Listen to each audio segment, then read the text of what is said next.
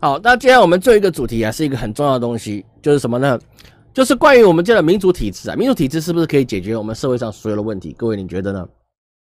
民主体制是不是可以解决到我们社会上所有问题？很难，是个很难的事情。为什么？因为我们最先了解，我们从历史来看，我们这个世界上，好，第一个可以说是有民主制度产生的一个国家叫做什么？叫古雅典。古雅典。可是古雅典，它它大部分是用他们的一个大议会制度，比如说士农工商百业之间选一些代表，然后呢出来开会，对决定雅典之后你要怎么发展的好，就是要去开会来决定，然后再去表决。这个是一个比较成比较在古上古时期，比如说在古典时代，好是比较觉得大家觉得这是可行的，因为它不是一个暴政，它是有大家决议的事情。但是也不决然是大家都会同意，只是少数。服从多数，多数尊重少数而已。好，那我们来去看一件事情：古雅典还是亡于谁？古雅典亡于谁？各位，我们古雅典亡于谁？好，各位都知道哈，好像是斯巴达吧？哦，斯巴达后面还有另外一个国家，都是一个强权国家。后来我又又有波斯大军过来，所以说你这些这些所谓的民主跟所谓的一些文化，你最终敌不过的是一个武力，这是一个现实。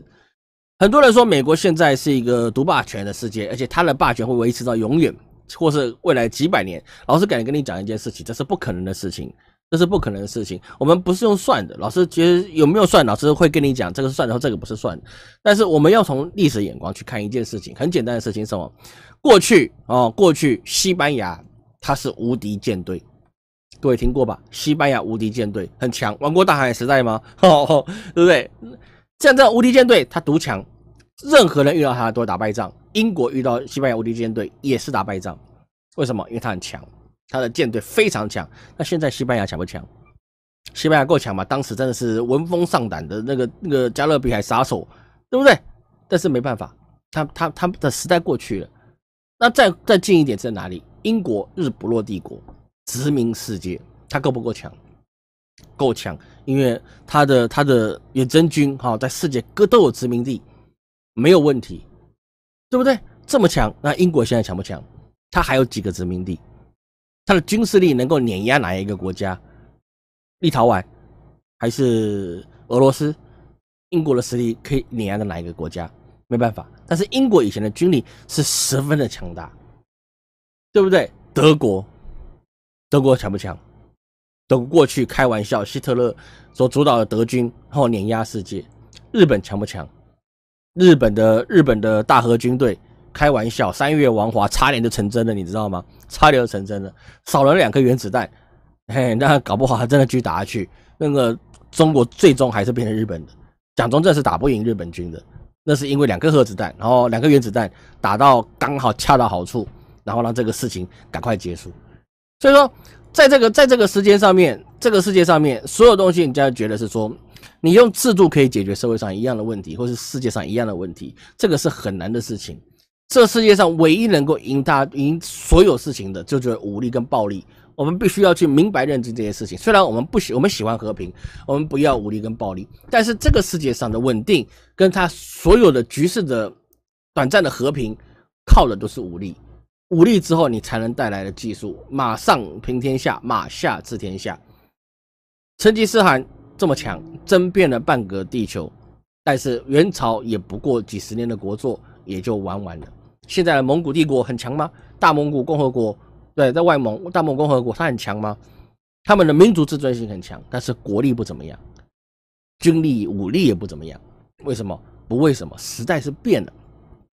所以说，在这个所有环境里面，我们一直希望是说，能够透过一个制度，让权力能够和平的转移，是这个是办不到的。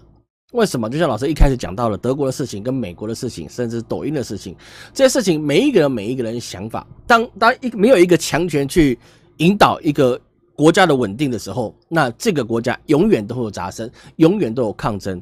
就像老师最近听到一个非常。有有有趣的事情什么事情呢？香港现在就我们这个万恶的共产党，他要让香港去做普筛，但是他又不封锁，但是要普筛啊，而且还是免钱的哦哦，这普筛还是免钱的。那普筛免钱状况之下，香港人拒检，为什么呢？因为年轻的学子然哦来告诉你是说，我们不要让共产党取得我们的 DNA，因为他拿到我们 DNA 到到北京去，他是为了控制我们。各位，拿 DNA 可以控制什么人？各位可不可以？这个有没有有没有有一些有一些了解的？拿走一些这些学生的 DNA，拿走这些香港百姓的 DNA，到底能干什么？能够确定你有没有私生子吗？能不能确定什么？但是很简单一件事情就是，你这个声音很多人就以为是真的，因为什么？因为不是每个百姓他们都可以跟上时事，这个世界就这样。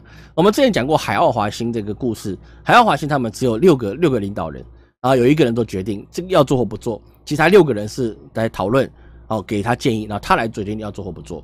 那是为什么？那是因为他们所有的行星上面的人都有一样高的知识，后一样高的一样高的一些模式，所以他们可以做到这件事情。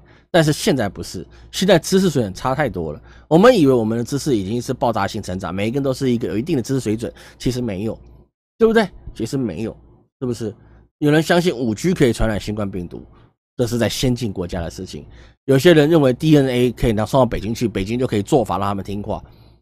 但是他们自己本身无足轻重，他们连房子都买不起，然后呢，他们只能住汤房里面，然后说北他们的 DNA 很重要，北京我去检测不是只为了他们健康，而是要拿他们 DNA，这么这么科幻跟反智的事情，但是他们相信，他们相信，这是相信的事情，这个是新闻，各位可以去直接去 Google，能够看 YouTube 的大概你就可以看到这些新闻，不是很奇怪吗？这些都是非常有意思的事情，对不对？这些是非常有意思，但是大家相信啊。大家相信的事情啊，每一个人，包含包含印度或什么东西，都觉得是说啊，中国想要全天下的资料啊，直接进入万恶的共产党资料库里面。那么，请问一下，你的手机用的只要是安卓系统或是苹果系统，你的资料全部给美国人知道，你都不在乎吗？对不对？GPS，你今天 Google 地图，像老师今天带小朋友出去玩，Google 地图可以知道哪里可以怎么样的，哪里知道哪里塞车，哪里不塞车？为什么？因为所有人的手机里面的资料，他们都有。各位，这不是很奇怪的事情吗？所有人资料手手机里面的资料，Google 都有。为什么？因为你用了它安卓系统，你用它的 Apple 系统，你跟谁讲话、做什么，他都知道。我们伟大的中华民国政府还用 Line，好 Line 用韩韩国的这韩国的软体来传递我们机密的事项，而这些机密的事项很多是政府政府官员之间互相传。而 Line，你今天如果发现 Line Line 上面有诈骗，然后你还韩国公司可以不给你他们的 IP 记录。所有的资料在资料在别人手上，然后我们去去相信一件事情：华为的五 G 会造成新冠病肺炎的传染，或或是你的 DNA 对北京是有用处的，这就是一个很有意思的事情。所以说，当你的知识水准不够的时候，民主是没有办法达成这些事情。当然，老师有人一直说啊，你不要民主，你就是要共产，那跟世界上不是就这两个。就像老师有有人问过老师说啊，你这个人呐，你这人民币赚的香不香啊？对台币你不喜欢赚对不对？人民币赚的香不香啊？